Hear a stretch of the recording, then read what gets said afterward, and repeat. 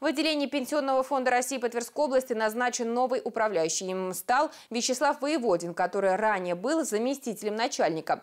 В отделении ПФР по Тверской области он работает с 1997 года в должностях ведущий специалист, главный специалист, руководитель группы отдела организации персонифицированного учета. С 2006 года заместитель управляющего отделения. С сентября 2018 исполнял обязанности управляющего в порядке совмещения должностей должностей.